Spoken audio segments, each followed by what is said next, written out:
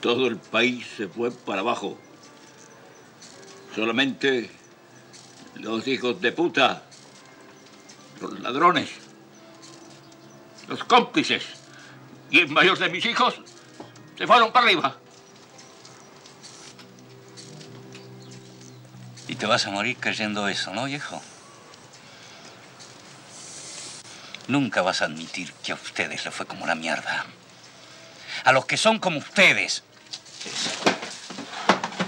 ¿Qué pasa? Roberto, por favor. Pero si tenés las mismas máquinas de hace 40 años.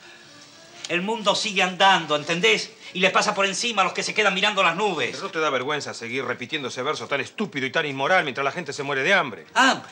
¿Y dónde está el hambre aquí? ¿Quién carajo pasa hambre, me quiere decir? Pero si en esta casa se empachan sobre todo de palabras que no quieren decir nada. Siguen repitiendo las mismas boludeces anarquistas de toda la vida.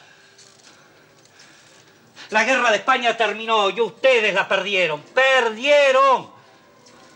Y me quieren hacer sentir culpable a mí porque yo no soy un perdedor. No, no, no. Yo no soy un perdedor. Eso métanselo bien en la cabeza. No soy un perdedor.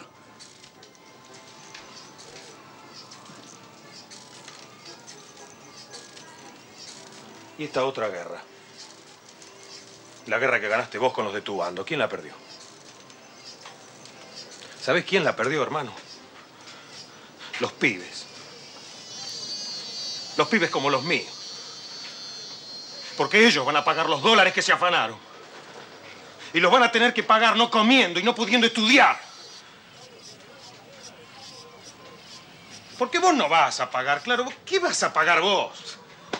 Si vos no sos un perdedor.